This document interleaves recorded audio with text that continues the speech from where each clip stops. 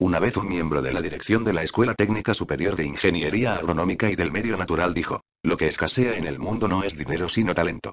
Dios le oiga porque en esta universidad se desperdicia talento pero hay dinero para contratar empresas de publicidad privada, jardineros, electricistas, eventos, colgar retratos gigantes de los exdirectores, comidas para los peces gordos, y un largo etcétera.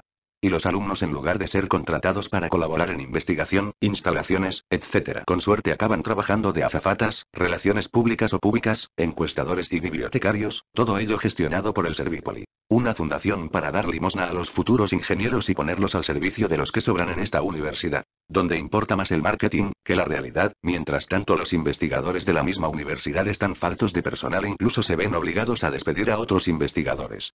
De hecho, ha llegado hasta tal punto la situación, que muchos se traen a sus hijos a los laboratorios para que les ayuden durante el verano, por ejemplo.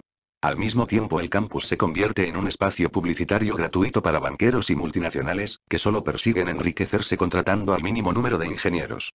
Si la Universidad Politécnica de Valencia está gobernada por mercenarios con gomina y corbata, no es de extrañar que en España la investigación no se valore como es debido.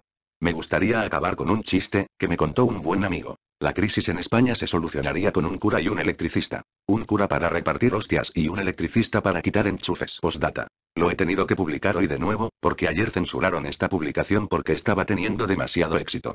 Obviamente es más sencillo censurar que arreglar las cosas.